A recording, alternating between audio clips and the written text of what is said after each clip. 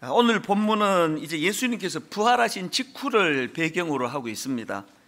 예수님을 따르던 제자들 중에 두 사람이 이제 예수님이 십자가에서 죽으신 그 사건이 너무나 큰 절망이 되고 충격이 돼 가지고 이제 도중 하차합니다. 그래서 엠마오라는 곳을 향해 지금 걸어가고 있는 중입니다.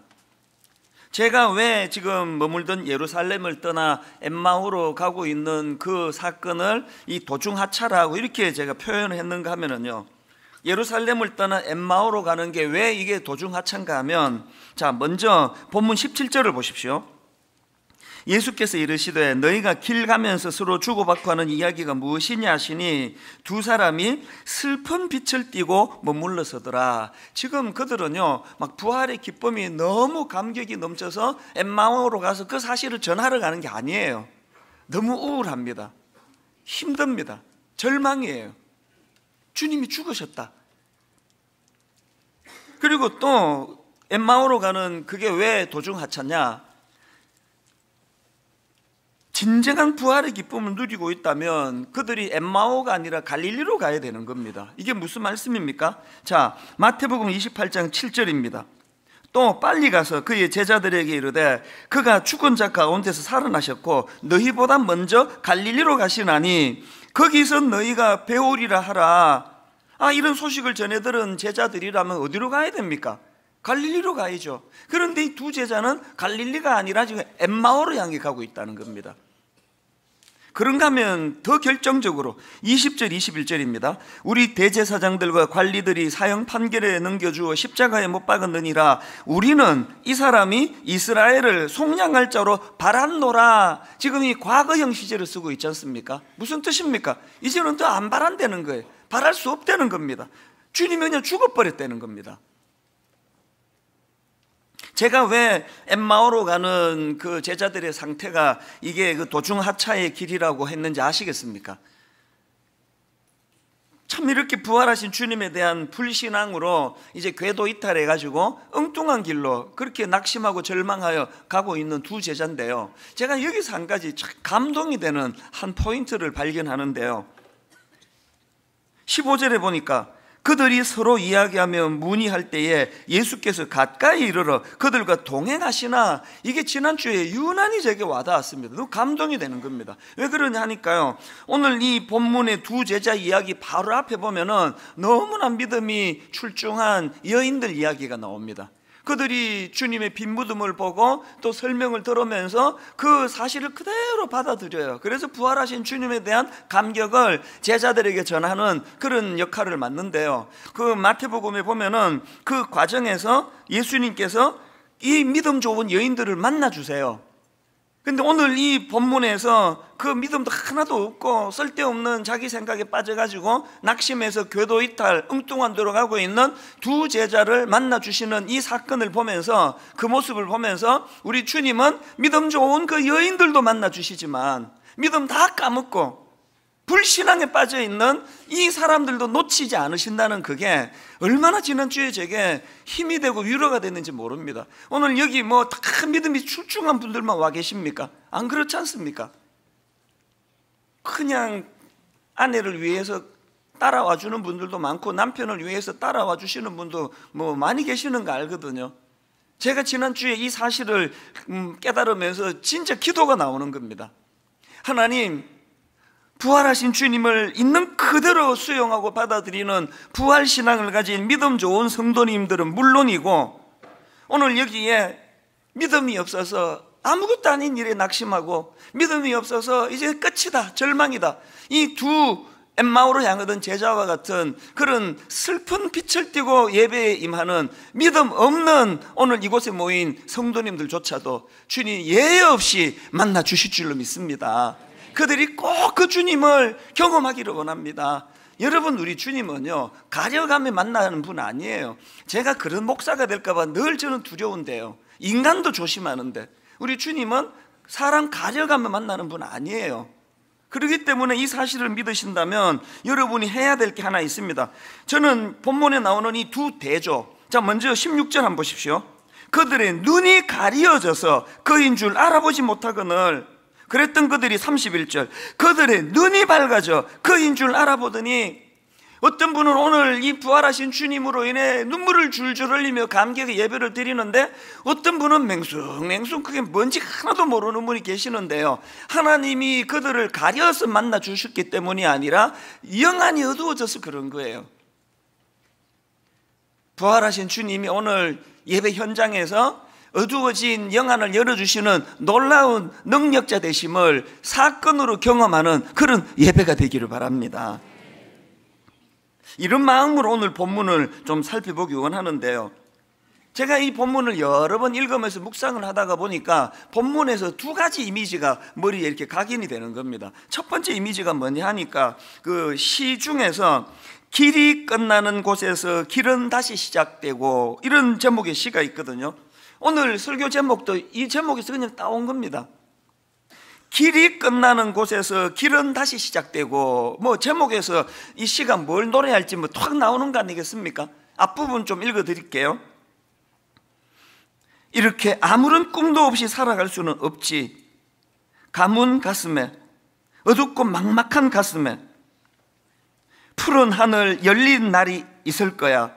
고운 아침 맞을 날이 있을 거야. 길이 없다고?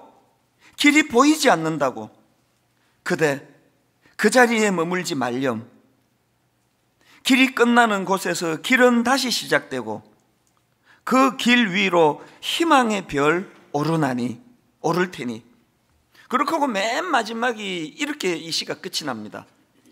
끝이라고 생각될 때 그때가 바로 다시 시작해야 할 때인 걸 여러분 제가 이 본문 말씀을 묵상하는데 왜 이 시의 이미지가 떠올랐을까요? 지금 예수님의 죽으심만 인식하고 끝났다. 이제 희망 없다. 절망이다. 그렇게 낙심하여 엠마오로 가고 있던 그 두 제자를 만나서 주셨던 주님의 메시지가 딱 이 시예요. 네 눈으로 끝난 것 같은 게 끝이 아니다. 십자가 죽음으로 끝난 거 아니다. 부활의 능력이 그게 나타나는 거다. 제가 종종 드리는 말씀이 있잖아요. 20대 때 저는 동굴에 갇힌 줄 알았는데 또 실제로 동굴이었는데 이거를 뚫고 갈 수 없는 상황이라는 건 너무 잘 알았는데 제가 은혜를 받고 났더니 부활하신 주님이 제게 주신 메시지는 동굴을 터널로 바꾸어 주시더라. 여러 번 말씀드렸잖아요. 동굴하고 터널이요 모든 게 똑같아요. 하나 다릅니다. 동굴은 끝이 없고요. 터널은 끝이 있는 거예요. 오늘 자기가 동굴에 갇혔다고 생각하시는 분, 이 시가 말하는 끝이라고 생각될 때, 그때가 다시 시작해야 할 때인 걸, 그렇게 노래하는 그 시, 이게 우리 부활하신 주님이 우리들에게 던져주고 싶으시는 메시지라는 걸 기억하시고, 동굴이 터널로 바뀌었다는 걸 한번 확인해 보시기를 바랍니다. 그런가 하면은 두 번째로 제가 오늘 본문을 묵상하다가 떠오른 두 번째 메시지가 있는데요. 그건 out of the box라고 하는 영어 표현해 주는 이미지예요. 이 out of the box라고 하는 관용구는 이 컴퓨터랑 관련해 가지고 사용될 때 즉시 사용할 수 있는 이런 뜻을 가진 관용구라고 합니다. 그러니까 뭐 어떤 이미지인지 아시겠죠? 이제 박스 딱 뜯어 가지고 꺼내면 바로 쓸 수 있는 거. 이게 이제 out of the box라는 그 관용구인데요. 그런데 제가 그 이미지로 본 게 아니고요. 이 out of the box라고 하는 이 관용구가 어떤 생각이나 아이디어와 관련해서는 이런 뜻을 갖고 있답니다. 틀을 깬, 고정관념을 깬, 이런 의미를 가진 관용구라는 겁니다. 제가 오늘 본문을 묵상하다가 이 out of the box라고 하는 관용구가 왜 떠올랐겠습니까? 지금 엠마오로 향하는 두 제자는 그야말로 자기 생각의 고정관념이 얼마나 큰지 박스 안에 갇힌 것 같아요. 그 믿음 좋은 여인들이 빈 무덤을 보고 부활하신 예수 메시지를 전했지만 귀에 안 들어오는 거예요. 죽으면 끝인데, 절망인데.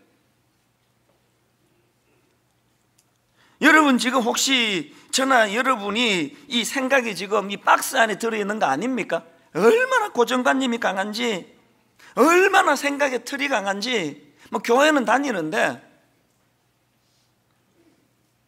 참 신기한 거는요. 뭐 저는 이런 일을 뭐 종종 경험하는데 바로 이, 이 내용을 다듬고 있는 어제 오후에요. 그 고신대 우병훈 교수라고 어, 제가 아주 조카처럼 사랑하고 아끼는 젊은 그 교수님이 있는데요. 아니 그 교수님이 저한테 메일을 하나 보낸 거예요. 삼촌 목사님, 그분은 저를 그렇게 불러요. 삼촌 목사님, 제가 작성한 부활주일 설교입니다. 부활이란 말은 그 이름만 들어도 가슴이 뜁니다. 그러면서 첨부 파일로 보냈는데요. 사실 뭐 저는 이제 막 설교에 몰두하느라고 그분 그, 그 첨부 파일을 열어볼 수가 없었습니다. 그리고 또 이거를 왜 보냈지? 지금 내가 설교하는데 이거를 쓰라고 보냈나? 그런 표절인데? 막 그런 생각이 들어가지고 그걸 안 열어봤거든요. 근데 오늘 새벽이에요. 새벽에 일어나 가지고 이제 그 설교를 이제 마지막으로 다시 다듬어야 되기 때문에 이제 딱 알람을 맞춰 놓고 이제 새벽에 일어나서 보통 그렇게 쓰는데요.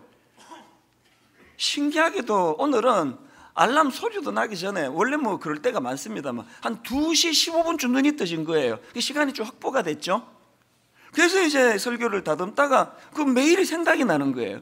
어제 이거 첨부 파일로 메일을 보냈는데 그래서 이제 이 교수님의 메일을 열어봤더니 야 오늘 새벽에 막 그 감동은 여러분 모르실 거예요. 얼마나 감동이 물밀듯 밀려오는지 지금 이 out of the box라고 하는 이, 이, 이 부활하신 주님은 그 엠마오로 가는 두 제자의 그 고정관념을 깨뜨리신다고 하는 그 설교를 준비하고 있는데 부산의 고신대학 교수님이신 이분이 첨부 파일로 보낸 메일이 이 내용을 다루고 있는 거예요. 오늘 새벽에 제가 그래서 이게 뭐 얼마나 감동이 되는지 설교가 막 이분 때문에 풍성해졌습니다. 그래서 제가 이제 이거를 인용을 해드리려고 하는데 이게 또 너무 감사한 게 막 시간 임박하면은 인용도 못합니다. 시간이 없어서. 3시 알람 맞춰놨는데 2시 15분에 눈이 떠져가지고 45분 동안 천천히 즐기면서 그 글을 읽으면서 도입을 했는데요. 얼마나 기가 막히게 오늘 제가 준비한 본문과 맞는지 한번 보십시오. 이분이요. 그 설교문의 그 주제가 뭐냐 하면은 그 포인트 중에 하나가 이 죽으면 끝이라는 인간의 고정관념에 관한 거라는 겁니다. 인간의 고정관념이 뭐, 뭐, 뭔지 아시잖아요. 이 죽으면 끝 아닙니까, 인간은? 그런데 예수님의 부활 사건은 이 죽으면 끝이라는 인간의 고정관념을 깨뜨리는 위대한 도전의 사건이라는 겁니다. 그러면서 이 교수님이 어떤 표현을 썼는가 하면 진짜 멋진 표현을 썼습니다. 이렇게 이야기하는 거예요. 죽은 것은 사망이지 예수님이 아닙니다. 그 다음 표현을 보세요. 예수님 안에서 죽음이 죽어버린 것입니다. 와, 새벽에 제가, 아니, 무슨 신학자가 이렇게 또 멋진 표현을 구사를 하는 거야. 막 그런 생각이 들었는데요. 여러분, 죽은 것은 사망이지 예수님이 아니랍니다. 예수님 안에서 죽음이 죽어버린 것이라는 겁니다. 그러면서 10편 49편 14절을 인용하는데요. 그들은 양처럼 스올로 끌려가고 죽음이 그들의 목자가 될 것이다. 이 부분을 이분이 어떻게 설명을 하느냐 내용을 한번 그대로 인용해 드릴게요. 그게 더 감동적일 것 같아요. 한번 들어보세요. 양들이 목자를 따라가듯이 죽음은 모든 자의 목자가 되어 다 끌고 간다는 뜻입니다. 이 성경의 표현이 너무 와닿지 않습니까?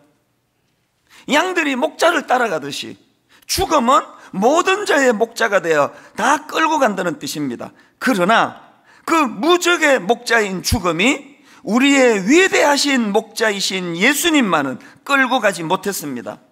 어떻게 예수님은 죽음을 이길 수 있었을까요? 그것은 주님은 사망의 영역이 아니라 생명의 영역에 속한 분이기 때문에 그렇습니다. 죄의 영역이 아니라 의의 영역에 속한 그분은 사망 안에 갇혀 있을 수 없으십니다. 그러면서 이분이 하는 말이 예수님이 살아 계실 적에도 사망이 예수님 근처에 가면 여지없이 박살나 버렸습니다. 그러면서 그 다음에 그 사례를 쭉 드는데요. 그 내용도 직접 한번 들어보세요. 19세기 미국의 부흥사였던 무디라는 목사님이 젊은 시절에 장례식 설교를 부탁받았습니다. 아직 경험이 많지 않던 그는 사복음서를 다 뒤져서 예수님께서는 장례식 설교를 어떻게 했는지 찾아보았습니다. 그런데 헛수고였습니다. 왜냐하면 예수님은 참석한 장례식마다 죽음을 박살내 버리셨기 때문입니다. 어떤 과부의 아들이 죽었을 때도 그랬습니다. 나사로가 죽었을 때도 그랬습니다. 회당장의 딸이 죽었을 때도 그러했습니다. 이처럼 예수님이 참석한 장례식은 모두 다 죽은 사람들이 부활하는 바람에 초상집이 잔치집으로 바뀌어 버렸습니다. 그래서 이분 주장하는 게 십자가에서 부활하신 주님의 그 사건을 설명하면서 죽은 것은 사망이지 예수님이 아닙니다. 예수님 안에서 죽음이 죽어버리신 사건. 이게 부활절이라는 겁니다. 부활 사건이라는 겁니다. 와, 오늘 새벽에 제가요. out of the box라고 하는 인간의 생각을 깨뜨리시는 엠마오를 향한 두 제자에 대한 주님의 일하심을 보면서 어떻게 이, 이, 이, 이 내용이 첨부 파일로 제게 전해질 수가 있는가. 새벽에 너무 기뻤던 게요. 오늘 설교가 풍성해질 것이라는 그 기쁨도 있었지만 근원적으로 기뻤던 게 뭔지 아십니까? 여러분 이 차이를 아십니까? 부활 신앙을 갖고 있는 거하고 그 부활하신 주님이 나를 인도하신다는 이 사실을 경험하는 건 다른 이야기예요. 여기 뭐 몇몇 분만 빼고는 부활 신앙을 다 믿으니까 오신 거 아닙니까? 부활 신앙 다 갖고 있습니다. 그런데 여러분, 부활 신앙을 갖고 있는 거하고 그 부활하신 주님이 내 삶에서 나를 이끌고 계신다는 걸 경험하는 건 완전히 다른 이야기예요. 오늘 새벽에 알람도 없이 2시 15분에 눈을 뜨게 하신 그 주님, 어제 이 설교를 준비하는데 어제 오후 4시 15분인가 메일이 왔더라고요. 아침에 다시 검색을 해보니까. 저는 여러분이요, 부활하신 주님을 그 여인들처럼 믿는 믿음도 있을 뿐만 아니라 거기에 그치지 아니하고 그 부활하신 주님이 오늘도 내 인생을 견인해 준다는 사실을 경험하고 인식하는 여러분 되시기를 바랍니다. 이것을 경험하셔야지 늘 삶 속에서 아등바등하는 게 없고요. 그리고 더 중요한 게 뭡니까? 늘 주님은 이찬수 목사의 삶에 개입하셔서 제가 가진 이 이 내 생각이 얼마나 굳어지기 쉬운 성격인지 내버려두면 굳어지고 내버려두면 경직돼 생각이 그 박스 안에 들어가 밀봉된 것처럼 누구에 의해서도 설득당하지 않는 이 완고한 저지만 부활하신 주님이 저에게 개입해 주셔가지고 하시는 일은 out of the box예요. 굳어진 경직의 틀을 깨뜨려 주시는 주님. 예수 오래 믿는데 고집불통인 분들 모두가 다 회개해야 돼요. 어떻게 예수가 그렇게 오래 믿는데 여전히 그렇게 고집불통일 수가 있느냐고요? out of the box가 안 일어난다는 뜻 아닙니까?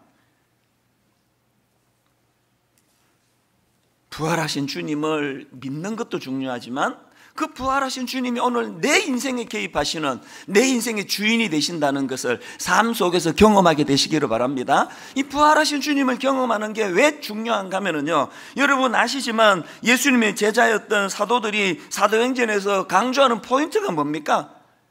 사도행전에서 강조하는 포인트가 아 내가 예수님과 3년을 동고동락하면서 예수님이 주셨던 어록을 내가 모았다. 그 어록을 자랑한 겁니까? 여러분 예수님이 가르치셨던 교훈이나 도덕을 사도행전에서 자랑한 게 아니에요. 사도들이 사도행전을 강조한 건 부활하신 예수님, 부활하신 예수님. 사도행전 4장 2절을 보십시오. 그들은 사도들이 백성을 가르치는 것과 예수의 부활을 내세워서 죽은 사람들의 부활을 선전하고 있는 것에 격분해서 그 악한 것들이 왜 지금 격분했다고요? 자꾸 사도들이 예수님의 부활을 전하니까 그래서 사도행전 4장 18절에서 이렇게 경고합니다. 그들을 불러 경고하여 도무지 예수의 이름으로 말하지도 말고 가르치지도 말라 하니 베드로와 요한이 대답하여 이르되 하나님 앞에서 너희의 말을 듣는 것이 하나님의 말씀을 듣는 것보다 옳은지 판단하라. 그리고 20절 우리는 보고 들은 것을 말하지 아니할 수 없다 하니 부활하신 예수님을 경험했기 때문에 보고 들은 걸 내가 말한다는 거 아닙니까? 오늘 왜 이렇게 무기력할까 우리가? 저는 이번 부활주일 날 부활 신앙으로 다시 무장하는 것도 중요하지만 그 부활하신 주님이 오늘 살아 내 인생에 개입하고 계시고 오늘도 내 인생에 out of the box 내 이 굳어진 생각을 계속 깨뜨려 주시는 능력의 주님이심을 경험하게 되시기를 바랍니다. 이렇게 주님 부활하신 주님을 경험하는 게 중요한데요. 제가 본문을 가만히 보니까 그 부활하신 주님께서 엠마오로 가는 그 두 제자를 만나 가지고 주님이 원하셨던 게 있더라고요. 이걸 한두 가지로 정리를 해 봤는데요. 첫째로요, 여러분 부활하신 예수님께서 그 엠마오로 가는 두 제자에게 뭘 원하셨느냐? 인간의 한계와 고정관념을 깨뜨리기 원하셨다는 겁니다. 앞에서 계속 설명을 드린 게 이 내용 아닙니까? 그러고 보면요, 성경 자체가 바로 우리의 고정관념을 깨뜨리기 위해 주신 도구 중에 하나라고 저는 그렇게 생각합니다. 성경 주신 목적 중에 하나라고 생각합니다. 지난주인데요. 이 요즘에 이제 이상하게 이쪽 왼쪽 어깨가 자꾸 이제 좀 아픈 거예요. 많이 아파요. 그래서 이게 팔만 들어 지금도 아파요. 이게 팔만 들어도 아프고 뭐 아령 같은 거 이렇게 하면 이쪽 팔은 괜찮은데 이쪽 팔은 또 계속 아파요. 그걸 잘못 들고 이게 자꾸 이제 정세가 심해져 가지고 그렇게 병원 가는 걸 무서워하는 저지만 안 되겠다 싶어 가지고 지난주에 이제 정형외과를 간 겁니다. 가 가지고 이제 엑스레이를 다 찍어 보고 하더니요. 이게 저는 이제 걱정했던 게이 뼈에 뭐 금이 갔나? 이 뼈에 문제가 있나? 그 걱정을 했는데 뼈가 문제가 아니고요. 여기에 지금 이쪽에 근육이 아주 막 악하게 굳어 있, 악하게. 이 악하다는 건 내가 붙인 말이고요. 아주 막 아주 악하게 굳어 있어 가지고 이게 지금 그 혈류도 막고 그래서 이 이게 지금 이그 뇌로 가는 그, 그 그걸 또 막아 가지고 막 월요일 되면 두통도 오고 다 원인이 그거라는 거예요. 그러면서 이제 막 한 1시간 반 그 병원에 머물렀는데요. 막 엄청 손님이 센그 그뭐 어떤 분인지 모르겠습니다. 가운을 입고 있는 분이 이제 막 저를 주무르기 시작하는데요. 막 아파 죽는 줄 알았습니다. 무슨 손님이 그렇게 세는지 막 막 막 떡 주무르듯이 막 계속 주무르는데 막 아파 죽을 것 같아. 그렇게 하고 막 그렇게 식은땀 나는 시간을 보냈더니 또 저쪽 방으로 오라 그러더니 이번에 레이저로 이거를 뭉쳐진 근육을 이 뽀개야 된대요. 이 뽀사푼다 그러잖아요. 레이저로 이걸 막 그냥 막 이게 따따따따 이게 뽀개지는 소리가 또 들리더라고요. 그렇게 치료를 다 받고 내일 또 오라는 거예요. 그래서 지금 월요일 날 지금 그냥 두통을 택할까 아픈 걸 택할까 지금 그러고 있는데요. 제가 그 그 이 굳어진 이 근육 그 사진을 보여주시는데 무슨 생각이 든지 아십니까? 굳어진 게 이 근육뿐일까? 내 사고, 내 생각 딱딱하게 굳어가지고 절대 내 생각과 다른 사람도 용납 안 하고 남의 말 충고 안 듣고 이게 지금 저 아닌가? 오늘 부활하신 주님이 엠마오로 향하는 두 제자를 향하여 조치를 취하신 게 지난주 병원에서 제가 받았던 그 치료랑 같은 거 아닌가? 그런 생각이 계속 드는 거예요. 여러분, 부활하신 주님께서 늘 여러분 삶에 개입해 주시고 딱딱하게 굳어 있는 생각이 그 박스 안에 밀봉된 것 같은 고집불통 우리의 생각이 out of the box 주님에 의해서 다 부셔지는 그런 유연함을 주시는 주님을 경험하게 되시기를 바랍니다. 우리 신앙 자체가요, 내 생각의 틀을 깨뜨리기, 고정관념 깨뜨리기예요. 성경을 보면은 제자들에게 주신 예수님의 포인트도 그거고요. 또 사도 바울을 위시한 수많은 성경의 인물을 다루시는 하나님의 손길이다. 그들이 고정관념 깨뜨리는 거예요. 예를 들어 볼까요? 고린도후서 12장 7절을 보십시오. 여러 계시를 받은 것이 지극히 크므로 너무 자만하지 않게 하시려고 내 육체에 가시 곧 사탄의 사자를 주셨으니 이는 나를 쳐서 너무 자만하지 않게 하심이라 아니 세상에 바울은 지금 자기가 겪는 그 극심한 고통을 어떻게 이렇게 성숙하게 이거를 성화시킬 수 있습니까? 분석할 수 있습니까? 자기가 당하는 고통이 조만하지 않도록 하나님이 주시는 축복 같은 조치라는 거예요. 사도 바울이 어떻게 이런 성숙한 생각을 하게 되었느냐? 사도 바울의 그 고정관념을 깨뜨려 주시는 하나님의 메시지 때문이에요. 바로 그 다음 8절부터 한번 보십시오. 이것이 내게서 떠나가게 하기 위하여 내가 세 번 죽게 간구하였더니 나에게 이르시기를 내 은혜가 내게 족하도다. 이는 내 능력이 약한 데서 온전하여짐이라 하신지라. 그러므로 도리어 크게 기뻐함으로 나의 여러 약한 것들에 대하여 자랑하리니 이는 그리스도의 능력이 내게 머물게 하려 하심이라. 그러므로 내가 그리스도를 위하여 약한 것들과 능력과 궁핍과 박해와 공고를 어떻게 한다고요? 기뻐하노니 이는 내가 약한 그때에 강함이라 사도 바울이 어떻게 자기가 당하는 그 고난을 그렇게 성숙하게 받았냐고요? 하나님께서 그의 경직을 풀어주시고 그냥 약한 건 다 나쁜 거고 고난은 다 피해야 되는 거고 이런 경직된 생각에 빠지기 쉬운 죄성을 가진 우리들에게 늘 고정관념을 깨뜨려 주시는 하나님의 은혜를 사도 바울이 누렸고 그리고 그것을 우리가 말씀으로 깨닫기 때문에 우리의 고정관념이 깨지는 거 아니겠습니까? 저는 박스에 갇혀가지고 경직된 근육처럼 그렇게 우리의 생각이 굳어지는 걸 주님께서 늘 그것을 깨뜨려 주신다는 사실을 인식하고 그 은혜의 자리로 나아가게 되기를 바랍니다. 그런가 하면은 두 번째로 이렇게 주님은 박스 안에 갇혀 있는 우리 생각의 틀을 깨뜨리기 원하시는데요. 두 번째로 그 생각의 틀을 깨는 도구로 주님은 성경을 사용하기 원하신다는 겁니다. 잘못된 생각에 빠진 제자들을 깨우치는 과정을 담고 있는 27절을 한번 가만히 보십시오. 이에 모세와 모든 선지자의 글로 시작하여 모든 성경에 쓴 바 자기에 관한 것을 자세히 설명하시니라. 32절. 그들이 서로 말하되 길에서 우리에게 말씀하시고 우리에게 성경을 풀어 주실 때에 우리 속에서 마음이 뜨겁지 아니하더냐. 엠마오로 가는 그 두 제자에게 무슨 도덕적인 훈계를 해서 깨우친 게 아니에요. 말씀을 풀어주시는 거예요. 제가 그 엠마오로 향하는 두 제자를 말씀으로 깨우치는 주님의 모습을 보면서 참 제 부모님이 너무 감사해지는 겁니다. 나의 사랑하는 채 비록 헤어졌으나 어머님의 무릎 위에 앉아서 재미있게 듣던 말 그때 일을 지금도 내가 잊지 않고 기억합니다 후렴 같이 한번 불러보시겠습니까? 귀하고 귀하다 우리 어머님이 들려주시던 재미있게 듣던 말 이 책 중에 있으니 이 성경 심히 사랑합니다. 우리의 고정관념을 깨뜨려 주시기 원하시는 그 주님께서 성경을 통하여 이 성경을 통하여 우리의 굳은 생각을 깨뜨려 주신다는 걸 꼭 기억하시고 성경을 늘 가까이 하시는 그런 저와 여러분 되시기를 바랍니다. 그 책 중에서요. 삶으로 이어지는 성경 읽기 이런 제목의 책이 있는데 거기 이런 내용이 있더라고요. 다른 책들은 우리에게 정보를 주기 위한 것이지만 성경은 우리에게 변화를 주기 위한 것이다.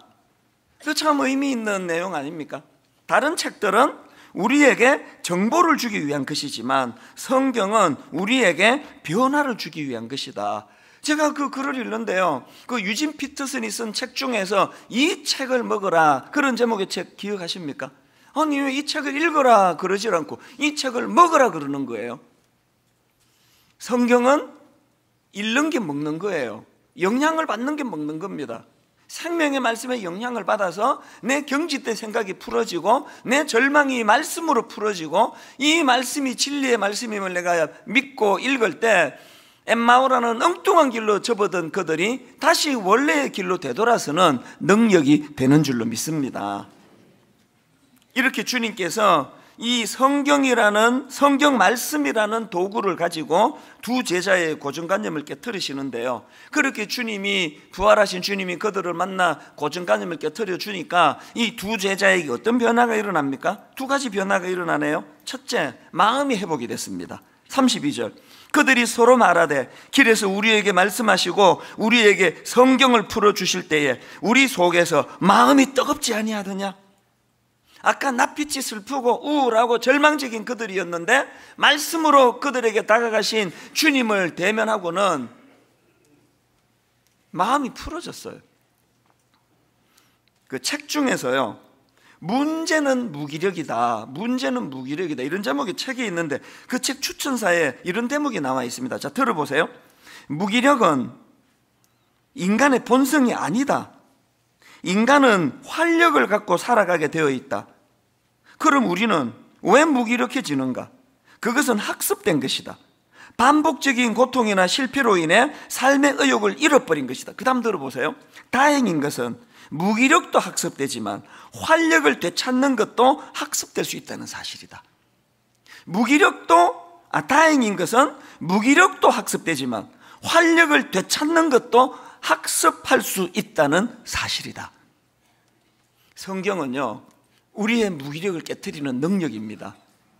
성경은요, 무기력도 학습되지만 활력을 되찾는 것도 학습이라는 사실을 깨닫는 도구예요.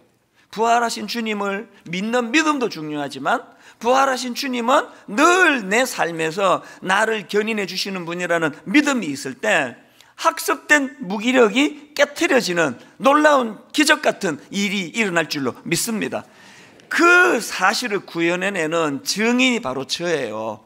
너무나 많은 아픔, 실패, 상처 이런 것들로 저를 엄습했던 제 인생이지만 어느덧 저에게 무기력, 학습된 무기력이 저는 없습니다. 학습된 무기력, 무기력은 눈 씻고 봐도 없습니다. 어떻게 가능했을까요? 부활하신 주님이 늘 견인해 주시기 때문입니다. 그런가 하면은 두 번째로 이 제자들이 누리게 된 축복이 뭡니까? 가던 길에서 돌이키는 방향 전환을 경험했다는 사실이에요. 33절. 곧 그때에, 아, 곧 그때로 일어나 예루살렘에 돌아가 보니 예배 드리면서 가슴이 뜨거워지는 것도 중요하고 눈물이 흐르는 것도 중요하고 희망의 주먹이 쥐어는 것도 중요하지만 더 중요한 건 가던 길에서 되돌아서는 거예요. 결단하는 거예요. 원래의 자리로 궤도 이탈한 그 자리에서 원래의 자리로 되돌아서는 결단. 저는 오늘 부활주일 말씀의 결론을 이렇게 맺기 원하는데요. 제가 그 지지난 주에도 장 도미니크 보비가 쓴 잠수종과 나비 그 책의 일부분을 인용해 드렸는데요. 오늘 한 군데 더 인용해 드리고 말씀을 마무리하려고 합니다. 전신마비 상태로 지금 자기 신체 중에 유일하게 움직일 수 있는 왼쪽 눈 껌뻑이는 거 이거를 가지고 수만 번 눈을 껌뻑껌뻑 해가지고 책을 썼는데요. 그 책의 거의 뒷부분의 내용이에요. 거기 이런 내용이 있습니다. 저자가 이런 말을 합니다. 나는 캥거루의 짧은 노래를 울부짖듯 읊을 수 있다. 그 시를 인용하는데요. 뭘 노래하는지 한번 들어보시기 바랍니다. 캥거루는 벽을 넘었습니다.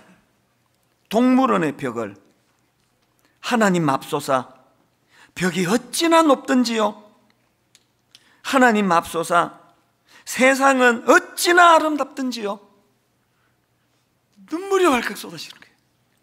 이 내용이 그책 거의 끝부분에 있거든요. 이미 수만 번 눈을 깜빡이면서 쓴 그 책에서 몸을 움직일 수 없는 그 자기의 현실이 얼마나 무거운 멍해가 됐는지 하나님 맙소사 벽이 어찌나 높든지요? 그걸로 끝나지 않습니다. 하나님 맙소사 세상은 어찌나 그리 아름답든지요. 부활하신 주님을 만난 우리 모두가 되내야 되는 독백이라고 저는 생각합니다. 하나님의 자녀로 살아가는 게 어찌나 그 벽이 높은지 유혹은 어찌나 그리 많은지 거룩함을 유지하고 사는 건 어찌나 이렇게 힘드는지. 그러나 여러분 그것으로 탄식으로 끝나지 않는 우리 인생 하나님 맙소사 세상은 어찌나 아름답든지요 그 책 제목이 왜 잠수종과 나비인지 아시죠? 느끼, 느끼시겠죠? 자기를 옥죄는 잠수종에 갇혀있는 자기 몸이지만 그러나 나비가 되어 날아가기를 소망하는 나비가 되어 훨훨 날기를 소망하는 그 저자의 그 모습이 상상이 되면서 저는요 제가 평소에 좋아하는 제 마음에 그 구호처럼 외치는 하나가 떠올려졌는데요. 한번 따라해 보시겠습니까? 봄을 이기는 겨울은 없다. 봄을 이기는 겨울은 없다. 지금 한겨울을 지나고 계시는 분이 너무 많거든요. 끝날 듯 끝날 듯 도대체 끝나지 않는 인생의 겨울로 낙심해 있는 분 많이 계시거든요.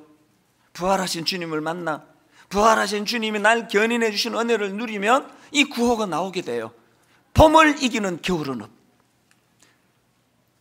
아무리 겨울이 혹독하고 아무리 겨울이 날 죽일 것처럼 달려든다 할지라도 그때마다 되뇌이는 독백 봄을 이기는 겨울은 없다. 봄을 이기는 겨울은 없다. 이번 부활절은 이 독백이 되뇌어지는 그런 귀한 부활주일 되기를 주님 이름으로 축복합니다. 이제 이 시간에 특별한 순서를 제가 한번 기도를 드리고 난 다음에 가지려고 하는데요. 이제 부활주일 헌금에 우리 장애인 부서 우리 학생들과 청년들과 또 그 가족들과 또 장애인 부서를 섬기는 우리 교사들이 함께 연합으로 찬양을 드릴 텐데요. 그 장면을 아까 저는 보는데도 그 자체가 은혜가 되더라고요. 제가 잠깐 기도하고 이제 헌금 드리면서 그 특별한 시간을 갖기를 원합니다. 같이 기도하시겠습니다. 고마우신 하나님 아버지, 오늘 이 부활주일 날 장애인 주일을 겸해서 드리는 이 아름다운 예배에 부활하신 주님 함께하여 주시옵소서 임재하여 주시옵소서. 내버려두면 경직되고 내버려두면, 내버려두면 굳어질 수밖에 없는 우리의 이 딱딱한 생각. 내 생각이 마치 이거 박스 안에 들어가 있는 것처럼 고정되고 굳어져. 걸핏하면 좌절하고 걸핏하면 낙심하고 걸핏하면 남을 정죄하고 내 생각만이 옳다고 오늘 부활하신 주님 이 생각을 깨뜨려 주시기 원합니다 그리고 하나님 잘 못 알아서 낙심하고 있는 우리의 생각들이 오늘 부활하신 주님으로 말미암아 희망적이고 낙관적인 생각으로 다 바뀌어지게 하여 주시옵소서 이 시간 부활하신 주님을 감사하며 부활주일 헌금을 드리려 갑니다. 헌금하는 시간에 우리 장애인 부서에서 아름다운 찬양을 준비했는데 아버지 그들의 맑은 영혼을 바라보며 은혜 받는 시간 되게 하여 주시옵소서. 주님께서 처음부터 끝까지 인도해 주시기 원하옵고 예수님 이름으로 기도드립니다. 아멘.